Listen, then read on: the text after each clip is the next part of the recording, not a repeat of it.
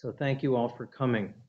Uh, last week, I will, uh, next week, I should just say, is Talya Fishman from Penn, and then we will have a one-week break on the week of March 6th for Penn's spring break.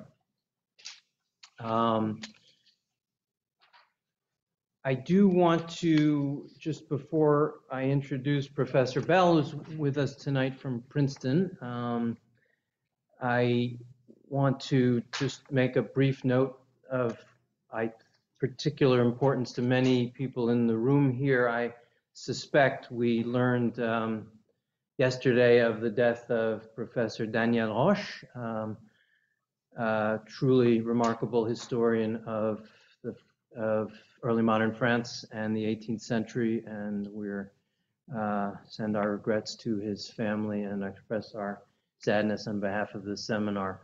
Um, so, um, but perhaps it is fitting that we will be addressing some of the topics that he devoted his career to. Um, so, on a more positive note, we are really delighted this evening to welcome Professor David Bell of Princeton University, who maybe has attended this seminar once or twice before, but um, we're really happy you made the trip down the down the highway roadway tonight. Um, at Princeton, uh, David is professor of history, and he is the Sidney and Ruth Lapidus Professor in the Era of North American Revolutions, a title I really North like. Atlantic Revolution. North Atlantic Revolutions, apologies. Yes, what did I say? The wrong thing. North Atlantic Revolutions. Um, uh, just to date myself, I first discovered Professor Bell's work back in the 1990s uh, with a wonderful article that he wrote on the politics of language reform and the battles over French local or patois languages during the revolution. It's called Lingua Populi, Lingua Dei.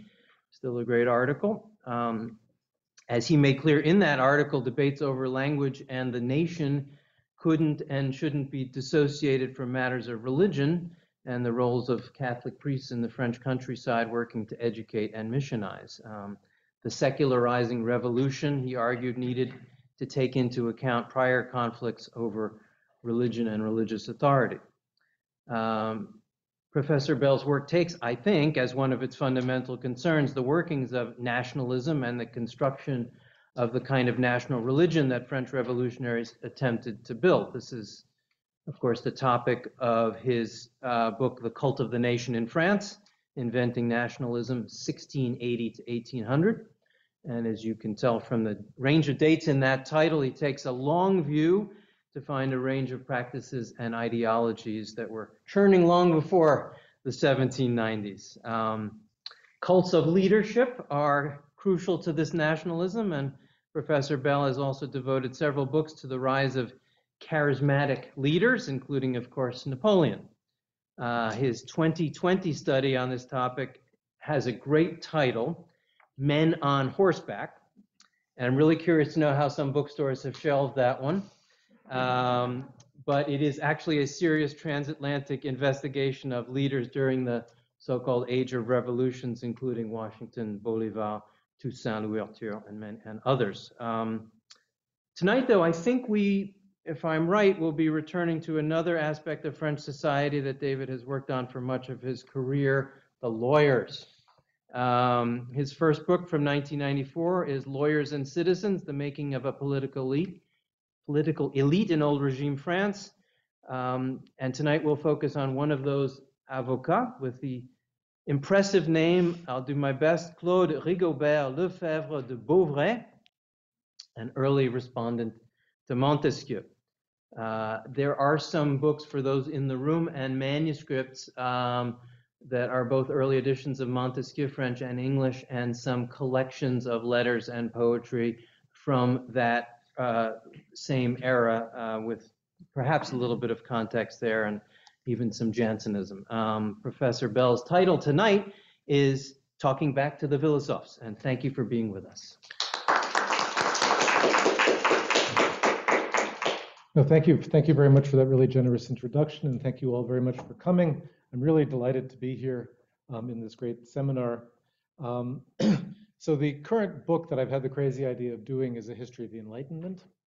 Um, it's a little big subject, so I thought for the seminar I should really, in, in, the spirit of the seminar, I should do something much smaller uh, micro-historical in fact, and examine a single 18th century letter.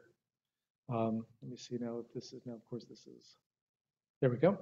Um, and I want to analyze it as an example of Enlightenment era correspondence, but also especially as an example of Enlightenment era reader response, because most of it is a detailed reading of a famous Enlightenment text, namely Montesquieu's Spirit of the Laws.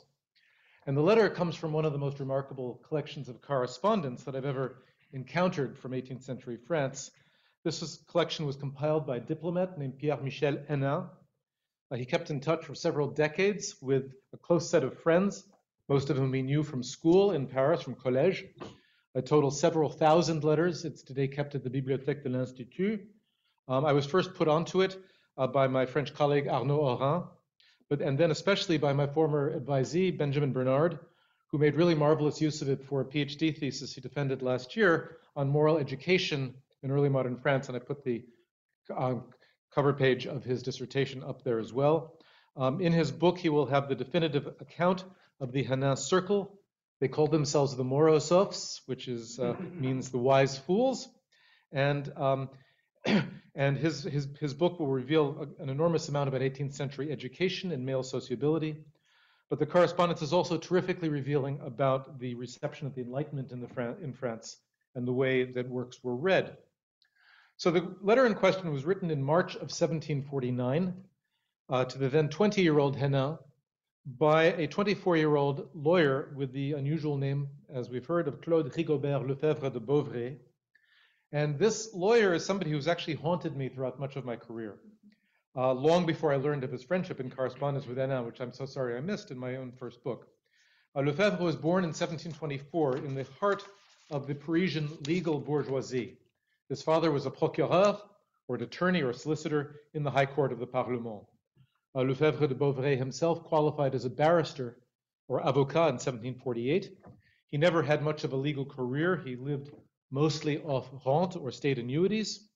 But he did have a keen interest in politics. He briefly kept a, a, detailed manuscript journal about political events.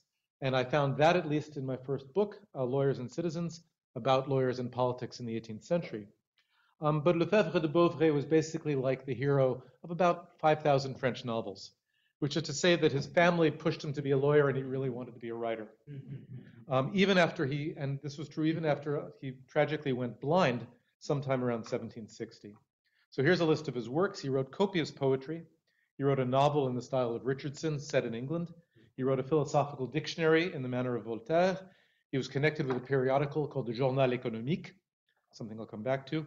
In fact, by the late 1760s, he was turning away from poetry, his first love, and was urging his fellow writers to abandon what he called the old court of the muses for the study of economic science. He claimed that commerce had now united the world into a single body, uh, and he devoted the longest article of the dictionary that he wrote to the subject of commerce. It's also significant that in one of his early poems, he identifies himself as a soi-disant philosophe, a kind of basically in this context, a would-be philosophe. Um, for all his efforts, he never really achieved the literary success he dreamed of. He did become a member of two provincial academies, but Baron Grimm panned his novel. Uh, at best, his other works got polite short notices in places like the Journal Encyclopédique. But still, he kept writing. And actually, much of the poetry he composed in the 1750s was patriotic in nature. And I came across it and studied it, in, and it featured in my second book, The Cult of the Nation in France, which, uh, which John has mentioned. So, in short, he was typical of a stratum of figures who flitted about the outer edges of Enlightenment literary and philosophical circles and really very, very much wanted to be part of them. Uh, many of these figures were not actually the poor devils who were made famous by Robert Darnton, those writers who lived hand to mouth on Grub Street. Uh, there were certainly a lot of those. But there were also a lot of people like Lefebvre, which is to say, well off rentiers, um, professionals often, who had the time and the leisure to try their hands at writing. They could subsidize the printing of their own works, as Lefebvre most likely did. They could submit essays to academic essay competitions, as he did on at least one occasion, and probably more. They could write occasional pieces for periodicals, as he did. Um, but they remain still on the margins of the Enlightenment. I can't resist mentioning also that there's a strange twist to Lefebvre's story, and while it doesn't really matter for this talk that much today, I, I do want to mention it briefly. Although he is forgotten today pretty much completely by everybody but myself and my student Ben Bernard, um, he did write exactly two lines of verse that became world famous. In fact, most of you would probably recognize them. In 1757, amid the upsurge of a patriotic upsurge of the Seven Years' War, he published an eight-page poem called Adresse à la Nation Angloise, addressed to the English nation, and in it he wrote, speaking directly to England, Va pour s'entre-détruire, arme tes bataillons, d'un sang impur, abreuve tes sillons. So go destroy yourself, arm your battalions, water your furrows with your impure blood. As I'm sure people have recognized, these are in slightly altered form the concluding lines to the refrain of the Marseillaise. That song was written by, or maybe I should say partly plagiarized, by Claude Joseph Rouget de Lisle in 1792. Um, I actually discovered this little act of partial plagiarism many years ago now. I even published a short journal article about it um, in, in France. Uh, while mostly trivial, the episode does show that the at least one of Lefebvre's works did reach a fairly broad audience and was still known in the 1790s. Unfortunately, by 1792, Lefebvre himself was in bad, bad decline, probably quite incapable of calling out the theft if he even realized it. Um, he died in the first days of the year 1800, probably unaware that the words he composed were now, in fact, known around the entire world. It's a rather sad fate to contemplate. Um, but let me turn from that sad story to the letter, which was written when he was much younger. As I've mentioned, it is mostly an account and a critique of Montesquieu's Spirit of the Laws, which had just been published the previous year. Already in December of 1748, Lefebvre mentioned it to Hennin in his correspondence. And to quote, they are clandestinely selling a new work by Monsieur Secondat de Montesquieu, of which I don't know the title. By March, he had found out the title and had actually managed to procure a copy and read it all the way through. Now, of course, we know a great deal about the general intellectual reactions to Montesquieu's book. It stirred up enormous controversy. The historian Gary Kates has just published a book called The Books That Made the European Enlightenment, which has a fascinating chapter about the overall reaction to Montesquieu's to, to Montesquieu's work. So, in one sense, historians are already familiar with a lot of readings of Montesquieu. But for the most part, these readings are themselves carefully crafted works of prose, which stand at a remove from their author's actual experiences of reading the book. Lefebvre's letter is much closer to his actual experience of reading, and it actually discusses that experience in a way that the more formal critiques of Montesquieu generally did not. So I've handed out a partial translation it's only a partial translation because the letter is really very long, almost 5,000 words. Um, in fact, Lefebvre knew very well that he was probably taxing his friend's patience with what he himself termed a dissertation. Um, to quote from his letter, reasoning, the word is probably already giving you the vapors. Um, but he was also clearly very excited by the book and also rather irritated or disturbed by it. He certainly claimed to be appreciative of Montesquieu.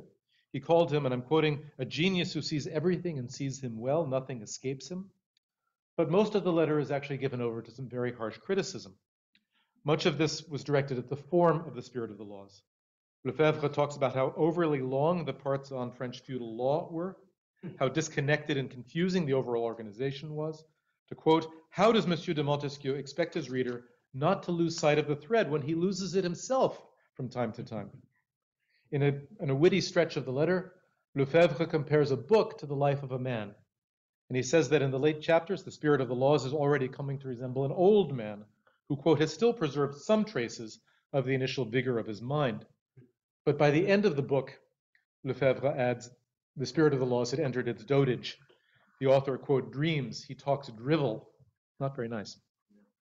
Now, when it comes to substance, Lefebvre scolded Montesquieu on several counts.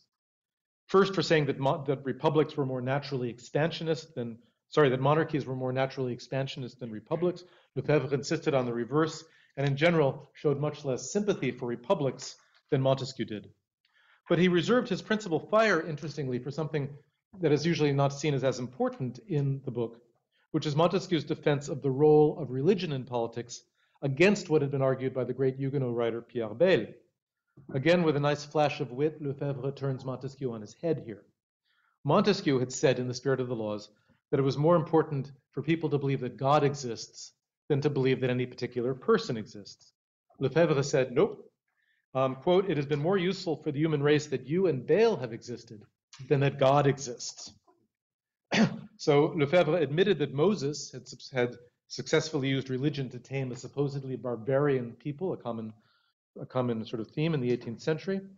But Lefebvre held up in contrast a West African people called the Serers, whom he had read about in Prévost's travel literature, who supposedly had a virtuous and well organized society without knowing or worshiping a god.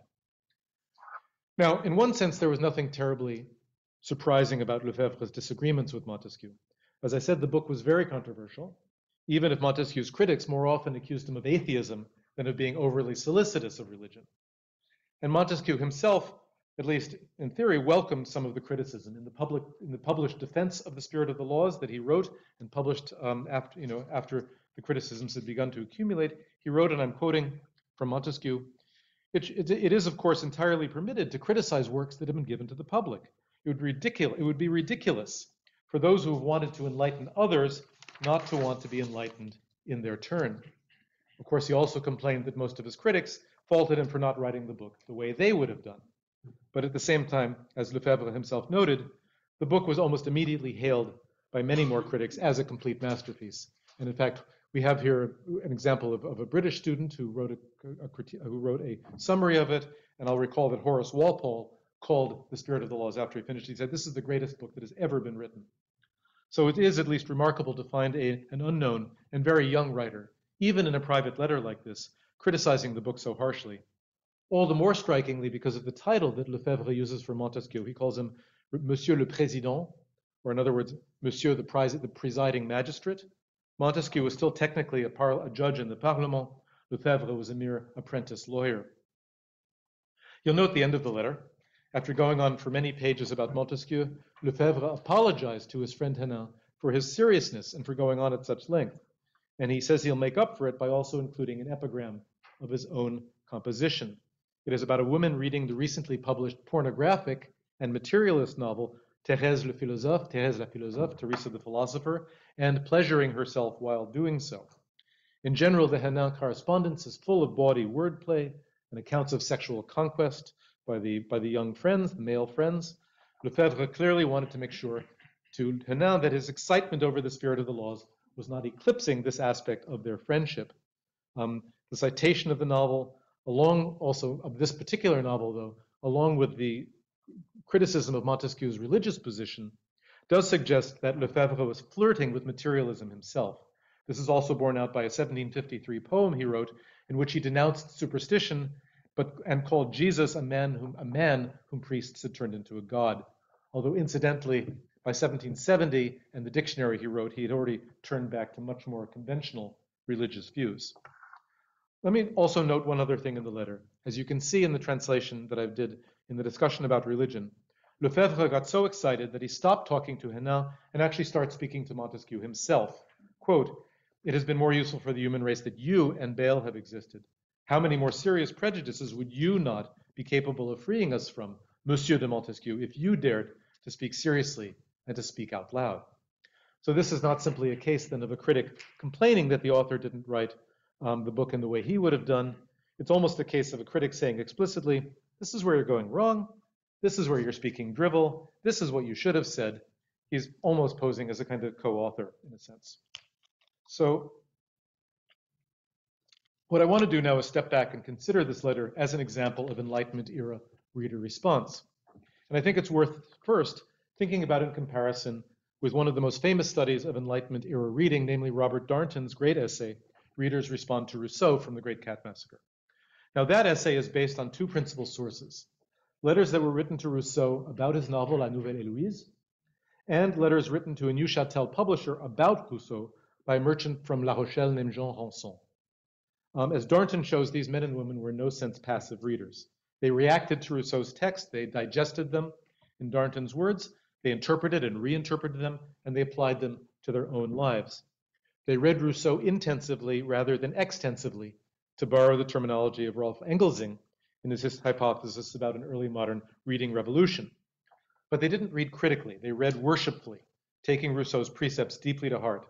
As Darnton says, and I'm quoting, Rousseau's pub- public probably applied an old style of religious reading to new material, notably the novel, which had previously seemed incompatible with it. Close quote. Now, Darnton doesn't claim that these readers that he studied were typical of the French Enlightenment, although he does say that Enlightenment reading remains something of a mystery, and at least with Jean Ranson, we have a dossier that gives us insight into the reading practices of at least one ordinary French bourgeois of the period. I would suggest, incidentally, that the Hennin correspondence, which is really very rich about accounts of reading, represents another such dossier. At the same time, though, Lefebvre's letter obviously points to some very different sorts of reading practices from the one that Darnton underlines. Lefebvre, like Ranson, was a very active and intensive reader, certainly. He was obviously not a worshipful one. He was more of a hypercritical one. Um, now, there have always been hypercritical readers. I don't mean to suggest that there's anything particularly original or specific to the Enlightenment about the fact that Lefebvre was expressing such sharp criticism of a great author. I'm sure there were young Athenians dissecting Aristotle to their friends with similar fervor, um, just as there are today graduate students who dissect what we do with similar fervor. But there are two things that Lefebvre's criticism, I think, does suggest about the Enlightenment world, which he was just then entering in the year 1749, and I want to spend the rest of my time on these things. To introduce the first of them, I wanted to say something which is actually pretty entirely obvious, which is that there's no such thing as reading in the abstract for all the terrific work that has been done on the history of reading, including by people in this room. Um, we all know that the, that the same people will read different texts in different ways. They read the Bible differently from the morning newspaper or from a textbook or from a short story. And often the way they read can be, at least in part, dictated by the authors themselves. Rousseau, as Darnton says, had very definite ideas about how people should have read him. He spelled this out many times, notably in the preface to the new Heloise. To quote Rousseau, whoever resolves to read these letters must arm himself with patience about the incorrectness of their language, the overblown character of their style. He must not say to himself in advance that those who wrote them are not French, not sophisticates, but almost children whom in their romantic imaginations take the innocent frenzy of their minds to be philosophy. Quote from Rousseau. Now, having made this point, I actually want to turn from Darnton's essay to a much more recent book, the French literature scholar Elena Russo's Styles of Enlightenment. Great book. And in this book, she calls Jean Jacques Rousseau's prose style the style of the rostrum, of the podium. Um, his style for her, she, calls, she terms it didactic, often thundering. It harkens back to the Calvinist pulpit of his youth or to his visions of the Athenian agora and the Roman forum. It insists on its own sincerity, and it deliberately encourages precisely the sort of worshipful reading that the men and women examined by Darnton professed, at least in their letters, to be doing. But Rousseau is not the only writer she studies, and it's not the only style of enlightenment that she studies in this book. She spends more of her time on a very different style, um, which I would suggest called forth a very different style of reading. This style, style trace, traces back to what was called in French literature the goût moderne, and there was nothing thundering or didactic about it. At one point, in fact, Elena Russo calls it the style of the boudoir. It was intimate, it was playful, it was dialogic, it championed wit, and theatricality in the breaking down of traditional literary forms. Its authors reveled in puzzles and games, in sly self referentiality. It was worldly, mondain, and it was deeply social. It insisted on the importance of intercourse between men and women, in every possible sense of the word, for the health of the society. Now, Elena Russo casts Montesquieu very convincingly as entirely on the side of the goût moderne, the style of the boudoir. For all his admiration for the Romans, he never made a cult of sublime antique virtue the way Jean Jacques Rousseau did, or the Jacobins for that matter. In Montesquieu's scholarly works, as well as in his novel Persian Letters, he deliberately subverted conventions, experimented with stylistic boundaries. His language and his concepts as well were playful. He littered his prose with discontinuities and puzzles. This style, as Elena Russo points out, elicited a great deal of criticism, some of it similar to what Lefebvre de Beauvray actually put in his letter. He wasn't the only reader who accused Montesquieu of losing the thread, le fil.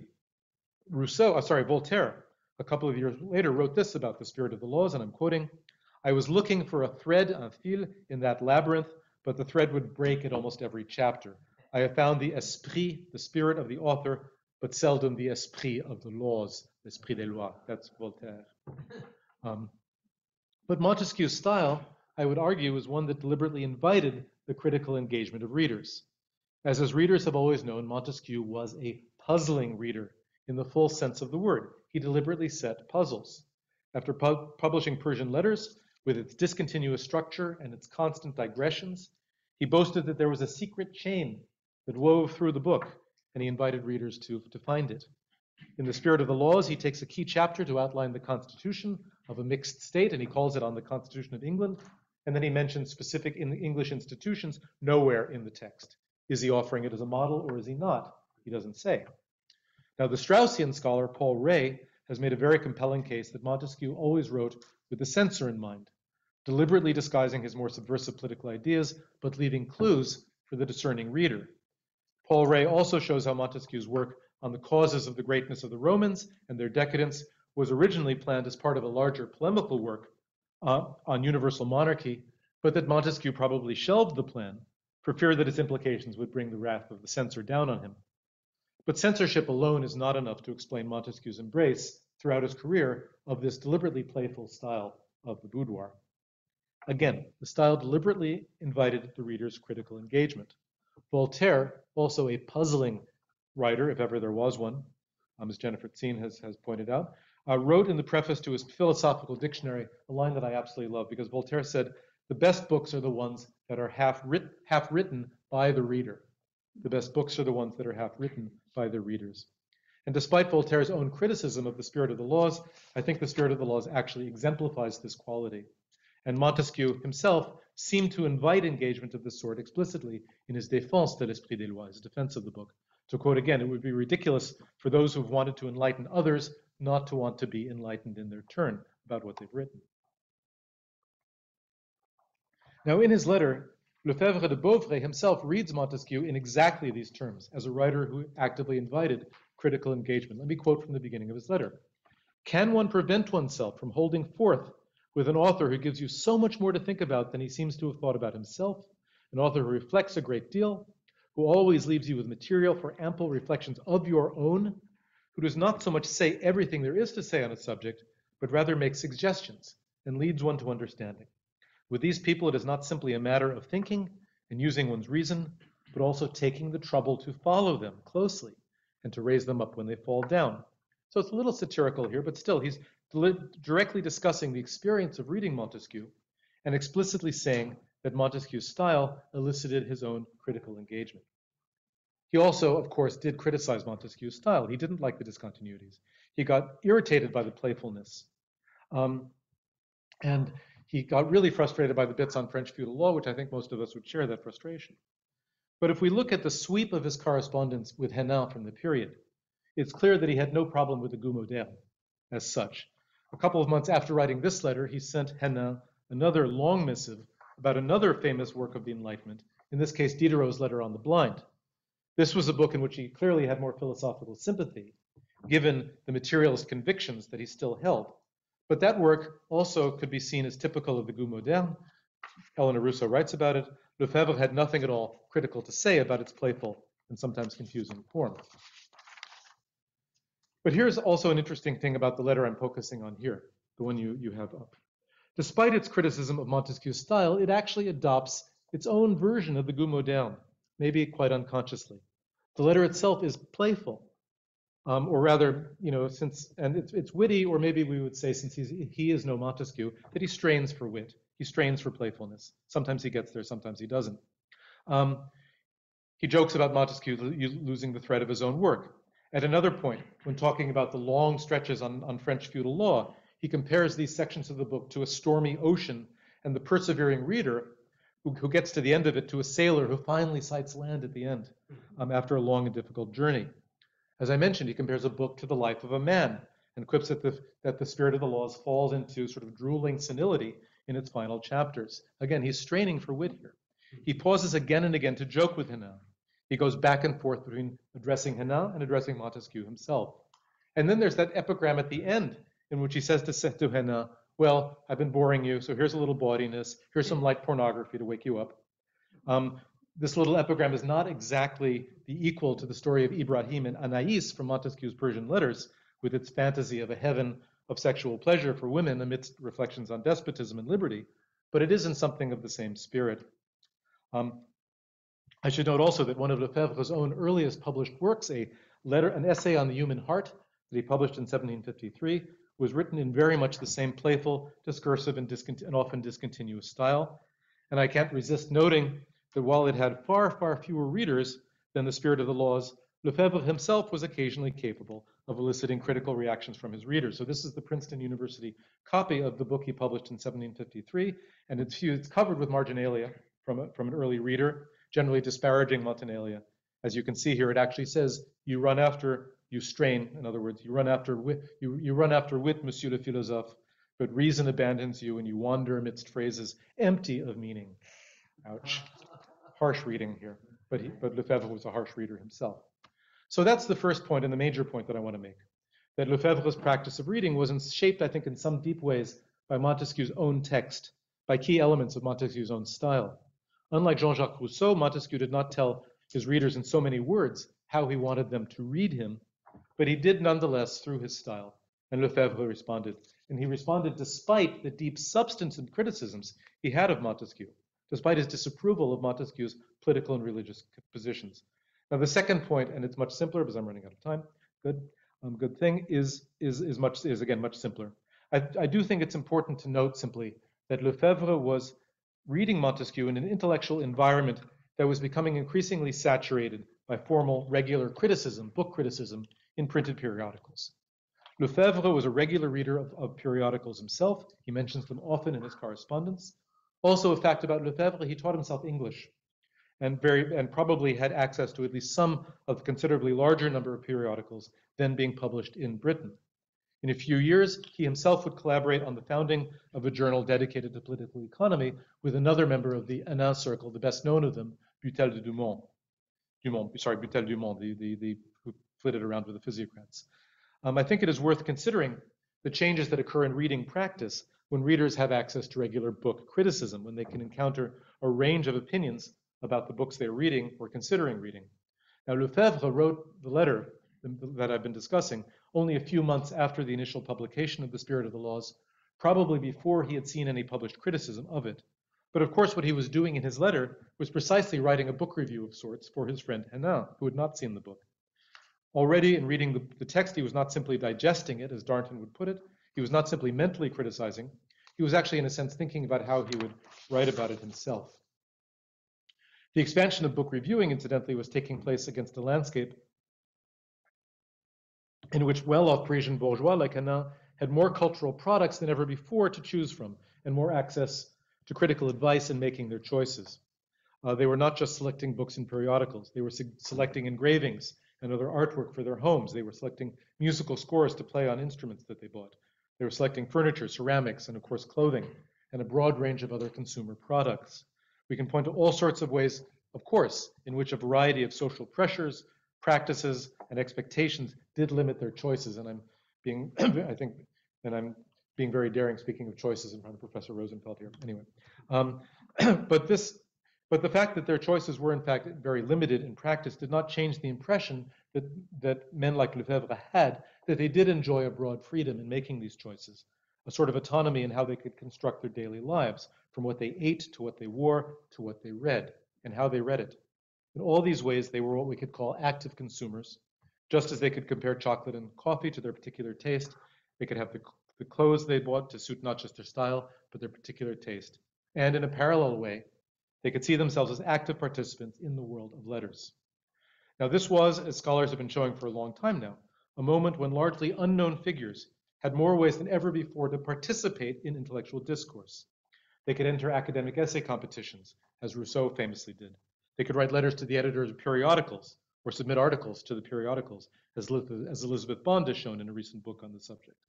They could write directly to an author or to that author's publisher, as Darnton discussed in his own great essay.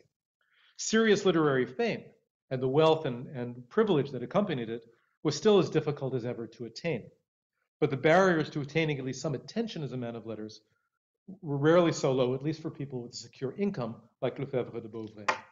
The sense of being able to participate was empowering. And I would suggest that even when he was just 24 in early 1749, Lefebvre already felt some of this empowerment in the way that he approached a text like Montesquieu's. Obviously, I'm not saying that these Enlightenment texts were in any way a simple reflection or epiphenomenon of the consumer revolution of the period. But there are important intersections between this changing consumer culture and the styles of reading and what was being read, and I think that deserves much more study. Now, to conclude, I certainly wouldn't want to claim that Claude Rigobert Lefebvre de Beauvray can be called a typical Enlightenment reader, or the typical Enlightenment letter writer for that matter. Most 18th century French correspondence does not contain 5,000 letter, 5,000 word dissertations on a work of political philosophy. But I would suggest that the letter illustrates in particularly high relief what a certain sort of Enlightenment reading could be. Deeply engaged, deeply critical, highly sensitive to the style of what was being read, and having little regard for the authority of the author. It was a form of reading that tried to bring the author into correspondence, into the conversation, very literally in, in, the, in the moments when Lefebvre starts talking directly back to Montesquieu, asking him questions and telling him what he did wrong. In many respects, this sort of reading is diametrically opposed to the later Enlightenment sort that Robert Darnton found among the acolytes of Jean Jacques Rousseau, which was just as engaged but largely uncritical and involved a kind of unconditional surrender to the authority of the author. These two sorts of reading reflect different facets, different sides of the Enlightenment, but I think that when taken together, they help, they help us see just how deeply the content and style of Enlightenment books could penetrate into the way that readers read and readers thought. So thank you. Thank you so much, uh, David. And yeah, if you want to hold up the gallery behind us, we will monitor the Zoom and we'll start with the room. And of course, we'll start with Liliane Weissberg. Hi. Thank you so much for the wonderful presentation. Um, you have made us aware of the complication of authorship and leadership on the side of Montesquieu, on the side of the Lefebvre, on the side of Bell, leading with and against uh, Darnton. Uh, but I would like to go to focus on another reader, the reader of the letter written. Mm-hmm.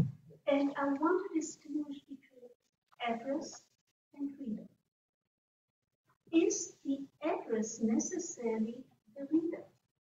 That means, is the read, is the letter really just for the one reader to whom it is seemingly written in the way that you are also questioning authorships and readership within the letter?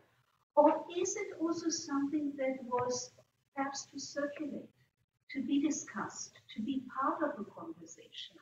As it is often done at that time as well. And if that is the case, then it may complicate the matter even more. Mm-hmm. It's a no. That thank you. That's a great question.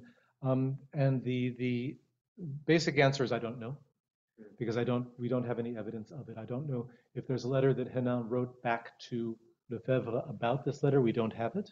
He kept drafts of most of his letters, but not all of them. And we don't have Lefebvre's own collection of correspondence. We only have Hennin's. So I certainly don't have any direct evidence about this.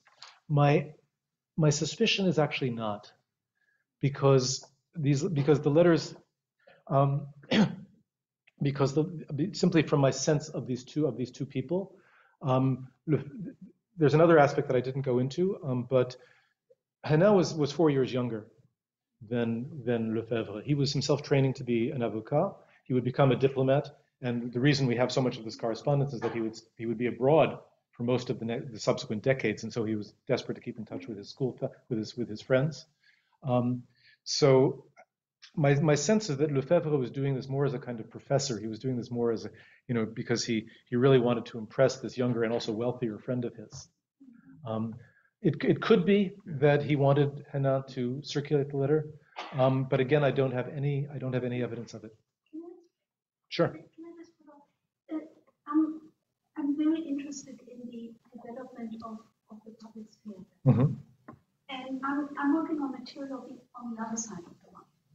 And there I'm getting all these kind of responses of insult that people haven't forwarded the letter and circulated mm-hmm. it further and read it in all kinds of social uh, uh, uh, um, settings online. If this is not the case here, it would be very interesting for me as well in terms of, let's call it a private literacy, mm-hmm. or what you say, the teacher student relation or whatever. So, so when is When is it this and when is it something else? Well, And how does it then distinguish itself from Montesquieu's book and so on? I think, no, that's, I, I, I think it would be, I, one thing I will say also just about this, this is still very much work in progress that I'm doing, um, and that my student Ben Bernard has done. We have not, you know, we- Hennin corresponded regularly with about, at least about nine or 10 people at the time. We have not found any mention of the letter in any of his correspondence with his other members of the circle, but we haven't gone through everything yet. So it's possible that there are some mentions of it in there. Um, most likely, if it did circulate, there would be some in, in the correspondence between Hennin and one of his friends, there would be a, a mention of it, but we have not we have not seen it. It's possible. It's also possible that it was intended as such, and that Hennin gets this letter and says, "Oh my God, what am I going to do with this? It's so long, and it's so and it's and it's so weird. I don't, you know, and just put it. I have no idea. Sometimes we don't know the answer But it's, things. sorry, it's Hennin's copy into his own book, or it is in? No, no. This letter is in. This letter is. This letter is Lefebvre's letter in his handwriting. Inserted into a big collection. It's inserted. It's bound into a big in. volume, which alternates. I, I, I, and I'm not sure when the when it was bound. It was Okay. probably bound after Hennin's death from the letters he collected. But wait, but it, it's what's interwoven are Lefebvre's letters and the draft responses by Hanan. Aha, okay, okay, Roger. Thank you. I I- I am puzzled by something because it's the relation between the letter you presented and the other text Mhm. that they wrote, which is the Éloge funèbre Yes. Montesquieu Yes, in 1755. exactly. And in this text, uh, in verse, what is striking is just the uh, inverted situation in relation with the letter. Yeah. Because he praised l'esprit des lois as being the moment in which the uh, enemy de Dieu will be Yes. defeated. Exactly. And uh, the text is understood as uh, destroying the MP and the uh, uh, hostile to uh, the religion. So how do you interpret this? An interpretation would be that the text of the Éloge uh, has to be understood as irony. Hmm. I am not sure because all the context, it's a very serious text. Uh, the verse are not excellent, but uh, because it's a verse, but nevertheless, it seems that there is no irony in this situation. So did it change between 1749 and uh, 1755? Uh, is there some constraint upon the, the writing of the Éloge funèbre and to whom it was uh, addressed?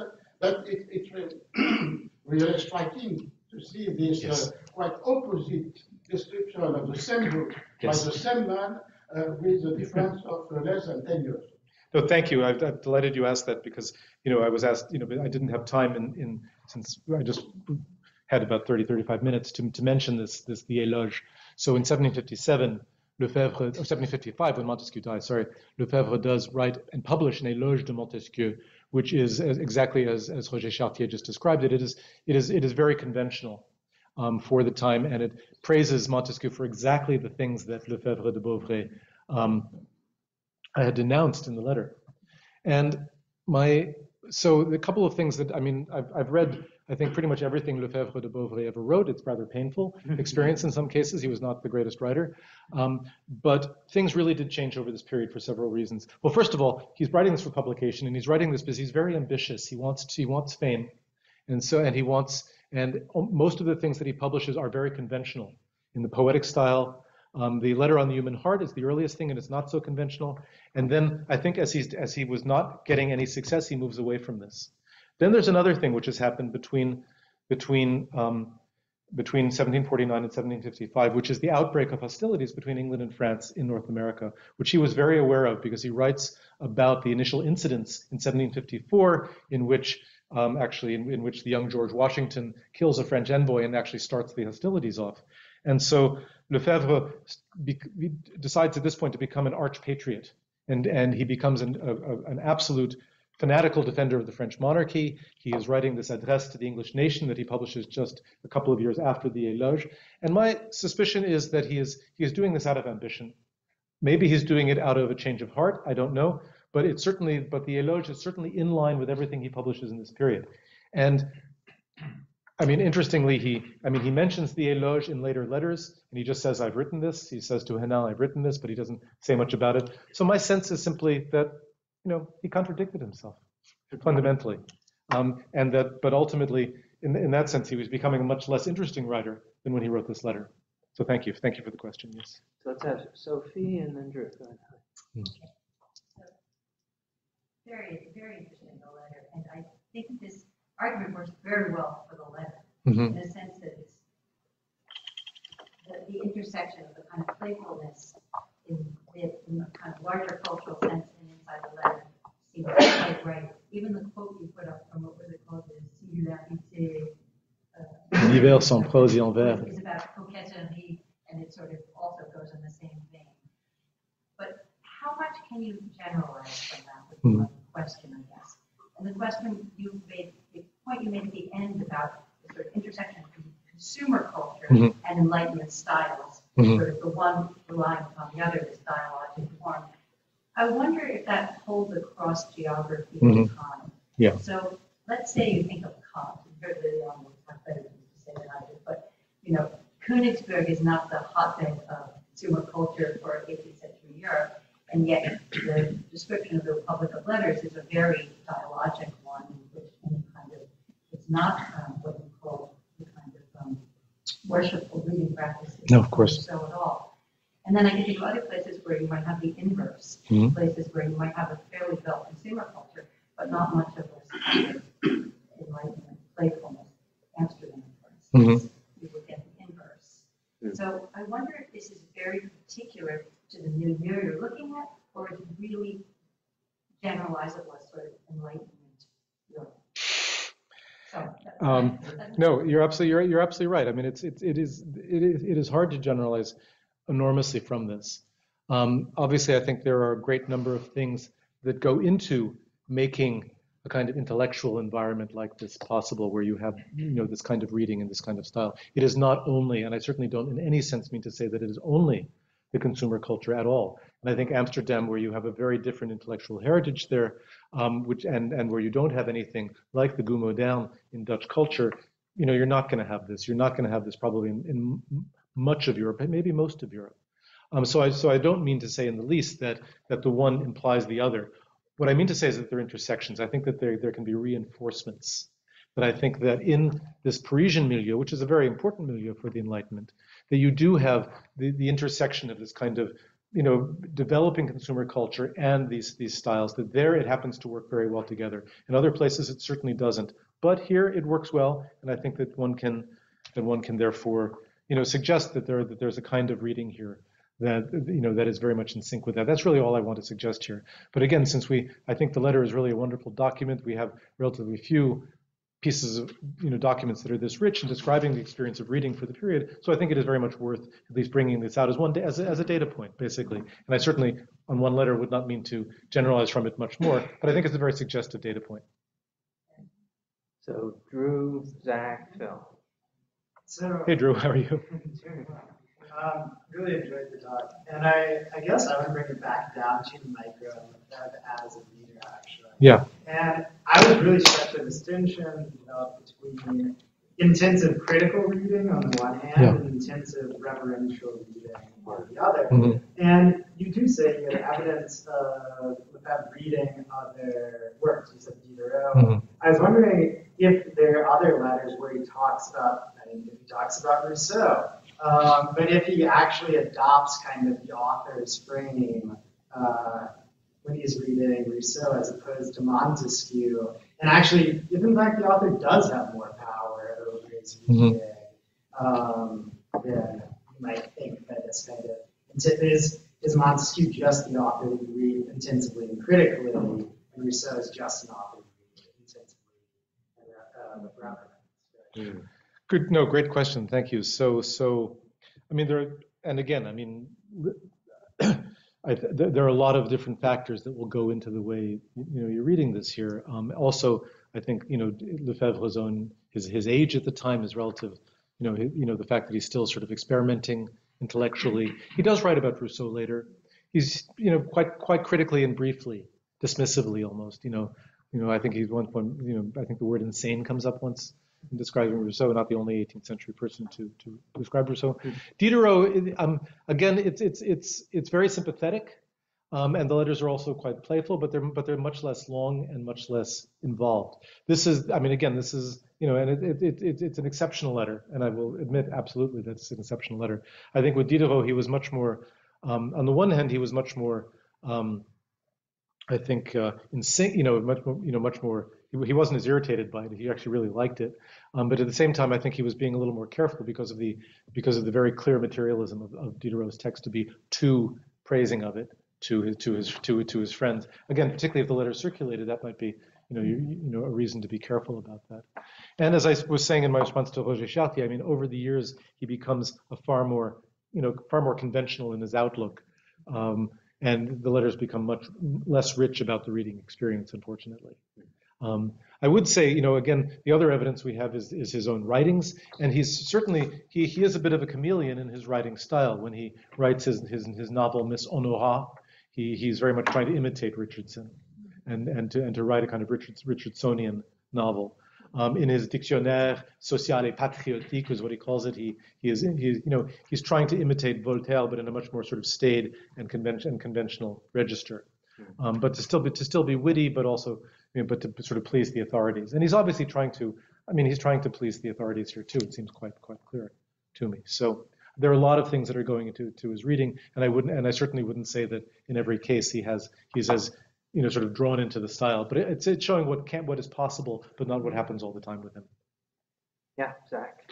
Thank you. That was really interesting, and um, the idea of thinking about reading style Hmm. in relationship to other cultural changes is, is I think, an interesting one. I want to follow up not on the consumer culture, but the other point you mentioned, which I found very persuasive, is the rise of book reviews. Mhm. I mean, there have always been hypercritical readers, but there have not always been people writing a 5,000 word book review. I mean, in a Mhm. sense, this letter seems to me very unlikely before the genre of book review Mhm. exists. And so I wonder if you could say more. I don't know enough. I mean, the style, he's obviously a magpie and he knows English. And the style here does, it has stylistics, some stylistic similarities to like uh, The Spectator, Mhm. I would Yeah. say. The shift in dress, Mhm. the, the, the, Mm. the combination of tone, Yeah. um, serious, joking, um, familiarity. You know, Yeah. it, it so I don't know if he's reading Spectator, and I don't know the French periodical version, but do you see? I think it, one avenue that might pay off would be to to pursue, you know, really a more kind of literary critical uh, connections between these book reviews. What types of phrases are typically used? Mhm. they- Are they popping up here? It seems to me that if you're writing 5,000 words, you're writing in a genre that you are familiar with somewhere else. You know, I think exactly. I mean, I, as I didn't really have time to develop that, that you know, that that enough. But I think that's. I mean, certainly in the Republic of Letters, you have people writing very long letters about books. I think that mm-hmm. that's clear, and very long critical letters about books. So I'm not sure that there's anything, you know, again, particularly original about about the 18th century and that. But again, the style here. I mean, you know, the kind of correspondence in the Republic of Letters where people dissected other people's books to their correspondence tended to be more serious. Tend- I mean, it, did, it didn't have this kind of shift, shifting of registers. And perhaps it did. I'm happy to, you know, if there, I would love to see incident if people know of cases of it. I would love to see it. But I think, you, you know, but he is clearly being influenced. I mean, he is. I mean, he does try to start a periodical himself. He does get seriously involved in this attempt to um, to study to start a periodical called the Journal Économique, and so that has clearly been. And so he and he's clearly a an avid reader of periodicals. He mentions he mentions you know mostly he mentions you know French periodicals the Journal Encyclopédique, the you know the Journal des Savants. He mentions these occasionally in his correspondence. Um, you know the later you know the Journal Encyclopédique quite a bit later. So so I so I do think he's you know he's he's he's very much you know att- attentive and attuned to the to to to to to that and to that style. Absolutely. Yeah. So Phil and then Richard. Clearly, it's really very interesting on this letter, and your problem is how to work out from the letter and relate it to a larger social history of the life. Right. I think several suggestions have been made already. Letter writing as a social practice. Mhm. It's carried on as one. There is uh, also, in terms of reading practices, everybody knows about commonplace books. Mhm. But there was also a genre, I think somewhat less known, maybe everybody knows that as well, of animadversiones, where you would take detailed notes and make comments on the books that you are reading as well. Now, I've only read one of these, which dates from the sixteen seventies and eighties, which are the reading notes pastor in Britain, Protestant pastor in Britain. Uh, and I don't remember all the details of it, but he is at once writing, uh, taking notes that might be of interest to, his- uh, factual information that could be of interest for sermons, but is also criticizing books for flaws or comparing the information in one with what he finds in another. And I believe he makes comments about the style as well. So it'd very interesting to see if there are multiple collections of these, maybe of others, uh, and see how that, that practice of note-taking and reading uh, is carried out. In, in his case, he's not writing it for other people. In fact, it begins with a charming introduction. He's stuck in this tiny little parish in Brittany, and nobody much comes. Fortunately, there's a noble woman who buys a lot of the latest books and passes some of them along to him. And he realizes he isn't going to amount to much, but uh, at least he can keep notes on his reading. This is how he consoles himself for his provincial life. He too had written some, some verse early in life, and was pretty much given out. Oh, thank you. That's a great suggestion. Thank you. Richard? Uh, It's kind of a follow-up, So Sophie's question, the whole, the relationship of, of these, this letter to the wider, let's call it the critical culture of, of the era. And I was interested in the fact that they both have legal training. Yeah. And it is a book about the spirit of the laws, and he talks about the vast chaos of capitularies, prescriptions, Salic laws, the law of the Lombards, the law of the Germans. This guy has read a lot of boring texts Uh-huh. with a lot, and, and, and he's read commentaries, presumably on these texts. And if there's one genre that is, is, it pays a lot of attention to words per se, it's the guys you know. Yeah. Procureur and avocat. Mhm. You mentioned that, the fact that they're both part of a legal world, and I wonder whether there's a kind of legal reading as opposed to a, just a general consumer cultural reading that distinct, that distinguishes this particular letter and this phenomenon that you're talking about in the seventeen forties and fifties. That's a, no, that's a really great point, Richard. Thank you. I mean, I think that's absolutely right. I think there's certainly, and certainly in the preparation to become a, an avocat au parlement, there, th- you know, often there would be a certain amount of training of dissecting texts like this, taking notes, things like that. Um, one problem is we don't know how, um, how seriously either of these men took their legal training. It was certainly entirely possible in the 18th century, basically to go out to Reims, to bribe a couple of professors, and you walk out with your law degree. And then, you know, if you if you if you if you wanted to be a serious avocat, then you would then you would do a stage and you would study.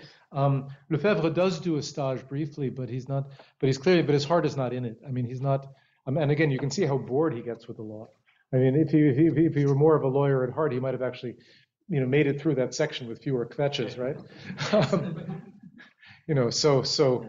Um, but I but I but I do think, but he certainly had at least some training of this sort, and uh, also, of course, there to come back to what what Phil Benedict said. I mean, there's also simply the you know the practices of of of of, of being a schoolboy, and you know these these two men were schoolboys together at, at Collège de Beauvais, and so they you know and there's practices of note taking which they would have learned there as well. So there's and Ben Benjamin Bernard, whom I mentioned, my student who has also worked on this collection, um, you know has has talked about those connections there to the Hennin correspondence. So thank you. Can I push the circle thing uh, even a little Mhm. bit further too? I, I, I, so, can you, can you tell us more about who's, who's in the circle? We got, Mhm. I got two, we got two. Mhm. Um, got a little more about their legal connections and or youthful connections. Mhm. Um, I mean, my, my frame of reference is this is a little bit like Franklin's Junto, maybe Mhm. not. Yeah. Um, as a sort of self-education move here, although these Mhm. guys have had more education, formal education than someone like Franklin, Yeah.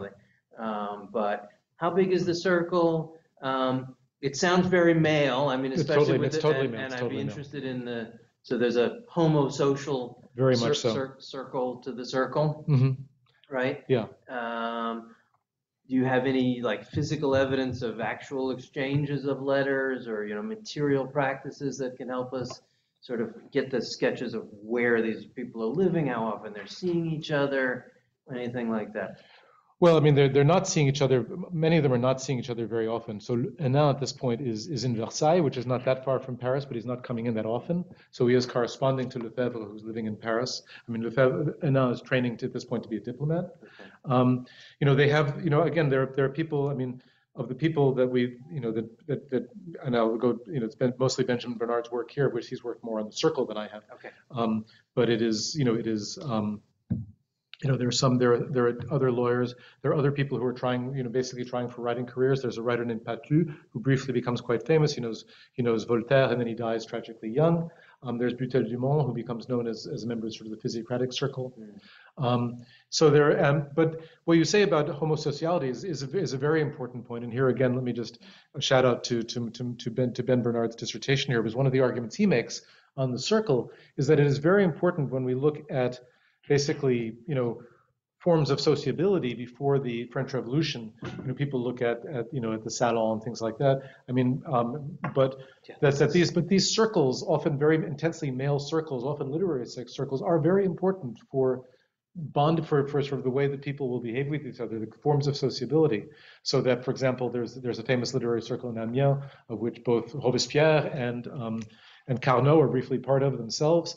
And you know, and and they, they, they often exchange sort of things that they've written. They exchange pieces of verse. They exchange, um, you know, they they they they they, ex, they exchange mistresses. Mm-hmm. Um, you know, there's there's very, you know, sort of homosocial sort of sexual relationship through the common relationship with, with women that happens in these circles.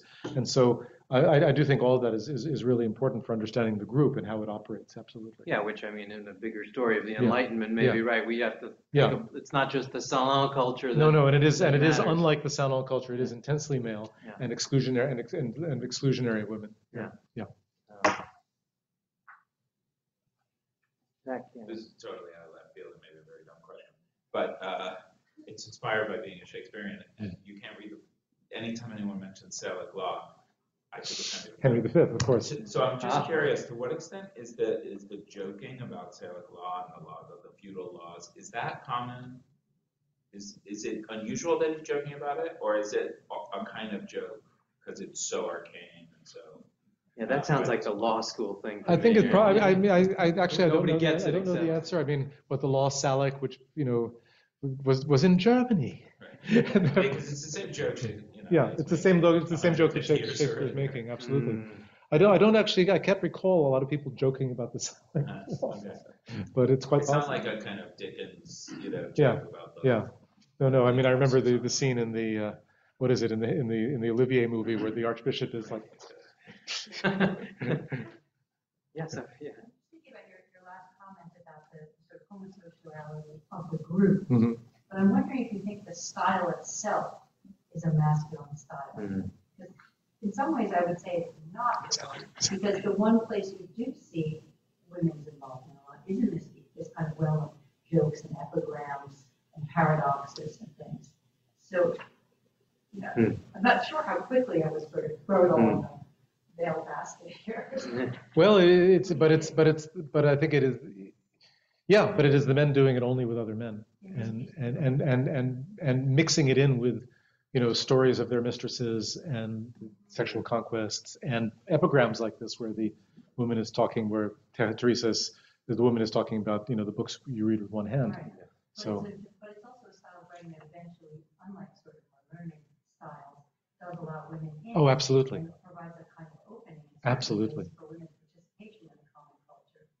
and it is bound up with and it is also bound up with a kind of Montesquieuian notion of, of, of what, of what would come to be called civilization which in which women have an absolutely central place Right. So- I mean, both of those things are, I think. I think I think what we can conclude here is the men are being hypocrites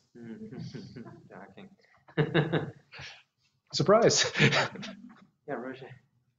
Yes, you think it seems to me that perhaps there is also, uh, you said it was 24 when you write the letter, and so there is this uh, attitude to uh, criticize, to make irony uh, vis-à-vis uh, already constituted authority. Mhm. So perhaps the question of the uh, generation and with what you describe as this kind of sociability uh, in the law school could be uh, an element.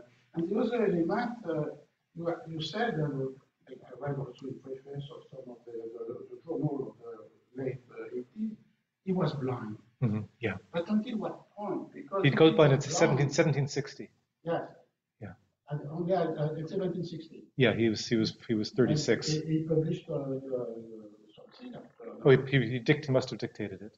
and like so Milton. It's, uh, it's uh, raised issue uh, for disability studies, how we can compensate the blindness.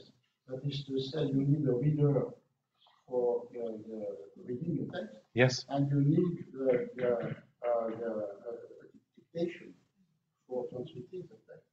So the, I don't know if he, played no role because he was not blind at the moment of the, of the letter, but perhaps uh, later, and I think it's an interesting uh, uh, topic. We are focused on the people who were uh, sourds-muets, but uh, the blindness Yes. is a fundamental topic. I agree. I agree. Absolutely. Uh, Here it's at stake also. No, thank you. No, absolutely. Yeah. Um, Did we have things on Zoom here or? Any, any, Just follow-ups. Oh, just follow-ups? Okay. I see 14 chats there. I'm interested in this, this question of style too. I mean, isn't Montesquieu himself sort of, doesn't that puzzle people that the same guy who wrote the Persian letters can write this, um, Right. you know, Yeah, the- this, absolutely. this, the, st- the style shifting as, as, I don't know, as, as uh, mode that is typical or prac- being practiced by a certain, by a certain group here, right? You know, or Right, although, doubt it, although, I mean, in some ways, there's, you know, there's less, a little bit less, you know, there's, there's a lot of playfulness in the spirit of the laws. I mean, you know. Yeah, I never really thought about it. I, I mean, yeah, you know, I read it- mean, I mean, there's the section, there's the section, and- there's a section on, I mean, there's the section, for one thing, there's the section, much debated, the section where, he, where he, which is entirely ironic, where he's talking about slavery and actually denouncing slavery, although it reads almost as if an endorsement of slavery. And then there's the section on climate where he, you know, where he starts out by saying, well, I, I froze the tongue of a sheep and, and saw how the fibers reacted. Maybe he's being a serious scientist here. I'm not so sure. Yeah, yeah, I mean, yeah. It's uh, so, how to how to read historical playfulness is, yeah, uh, it's just, and who's in on the joke. yeah, exactly, very Uh, tricky. Yeah. Sorry, Sophie, did you? No. Um, I mean, the other thing is the the African uh, Yeah. people. Is that in Montesquieu? I have no. No, it's not. It's, he, he read that in Prévost in the in Prévost's travel collection, of travel literature Okay. about the Saros. But that became a bit of a, Yeah. you know, it was a commonplace for certain kinds of writers in the 18th century to say, here is a people who don't know God and don't worship a God, and they're still People virtuous. Draw on, right, for these, Yeah. yeah. So that was there was nothing terribly unusual about that. But it's still interesting that he put that in. Mhm, Yeah. mhm. And again, that's also in the spirit of Montesquieu, who's drawing on, of course, in Spirit of Laws, is drawing on examples from around the entire world. Hugely anthropology. Yeah, too. exactly. Yeah. So there's so here Lefebvre also is, is sort of saying, well, look, I can be an anthropologist Mhm. too. Um, yeah, Margaret, please. Um, I'm, I'm struck by this uh, epigram at the end, that it's not just something that is maybe light or amusing, but that also it resonates so deeply with a lot of the other elements of the letter. Just the, the idea that there are books that are, they should be read only with one hand, there might also be, you know, certain ways that the spirit of the law should be read, or something along those lines. Yeah, it's interesting. And I interesting. was just uh, Hmm. curious about um, whether or not that seems, to- there seems to be a level of self-awareness in the letter of how these things are um, being paired together. If it's self-deprecating, you know, that he's talking about this woman philosopher and then he's also in correspondence, or, or even just with the earlier comments of how he seems to be thinking that this is a book that he's meant to be conversing with, right? Mhm. That this is, this is a book that merits five thousand words of, uh, of discourse. And I was just curious, um, yeah, in those terms of what kinds of connections are you seeing between this epigram and the rest of the letter? Yeah, I mean, I, well, I mean, he himself, you know, frames it as something opposed to the spirit of the letter, because he says, you know, the letter is all about uh, dissertating and reasoning, and this is, going but as you say, you know, I, I- hadn't noticed that, you know, this notion of how it should be read, that's obviously exactly in line with the spirit of the letter. So that's a great point. And, um, and then, of course, there's also simply the fact that he's talking about a book which is a notorious materialist book. And he himself is, at at least in the letter, endorsing, you know, materialism, or at least coming close to that. So there's, so there's, so that, that intersection as well. Um, and, uh, and then, it, of course, it is also, you know, it's, it's representative of this kind of constantly shifting style. He says, all right, I've, I've done this, but now I'm going to do that, this, this other thing. So I think there are all sorts of ways in which it does fit in quite nicely. Yeah. I mean, when you write five thousand words in a letter, you could be accused of a certain kind of onanism. I do wonder, I mean, which is to say, is he, is he, I don't know, it does seem, he is self-deprecating about it in other places. Yeah. Like, I'm sorry, I'm putting it through, oh, Yeah. seriously? Yeah. No, no, no, I, I mean, well, I mean, you know, I, I, I wa- you know, I have one, one friend I get endless text messages from that often seem to be five thousand Right. words, and I hope they're not. Three-way, It's three-way. like it's kind of a three-way conversation, because sometimes he's addressing multiple. Yeah. Yeah. It's like the three of them are having a little. Right, exactly, exactly. So it's, now we call that like a chat. Where's Slack when you really need it, right? But Montesquieu would never have seen this, could never have seen this, do you think? The letter, no, I doubt No, it. but- I, I, I can't imagine. They're engaging with. Yeah, it's, Yeah. it's as if No, they I mean, I were. really, I, I mean, if, if Lefebvre decided to actually send these criticisms to Montesquieu himself, we have no record of it. And, you know, if Montesquieu, I mean, I've, I've got, I've gone through all of Montesquieu's correspondence from, actually from 1749 onwards, just to, just because because the new volume has just been published that takes it up, just to see whether, Okay. you know, by chance there was any, Yeah. no, no, No. no, not that I found so far. That's what's different from book review, right? Yeah. Book reviews, the author bypassing the other author to the readers in general. Yeah. And this is a much more sort of intimate. Right. Conversation. Exactly. You have the draft Dehane's response? Uh, no, I, I don't have the, he, he didn't, he didn't really respond directly to this letter. Okay. I mean, if he did, I mean, as I said, normally, I mean, like, all the, the, the entire collection is from Hennin himself. So we have the letters to him, and then we have his drafts of the, of the But there's letters no back, but not all of them, probably. Oh, okay, okay. I mean, or at least if there was one, I haven't, you know, he, he's, he, there's one thing where he says, you know, j'ai reçu ta, ta lettre du, whatever. Thanks, Trois man. But that's, but that's it, so. I've got some reading to catch up on, Yeah, like exactly. Therese fill us up. I can't be bothered with, uh. Exactly, exactly. Um, David, thank you so much. Thank you. Thank you very much.